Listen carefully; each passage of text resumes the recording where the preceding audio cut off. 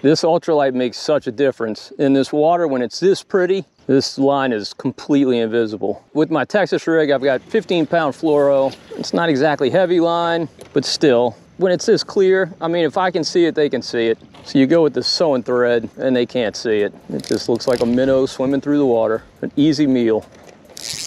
Oh, uh-oh, uh-oh. Guess what we got on our ultralight? If you're a trout, you're a trophy, but I think you're a redfish.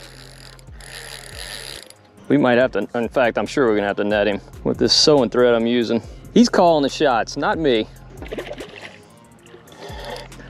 All right, he's only about 18 inches. I'm very glad to see a fish this size in the marsh.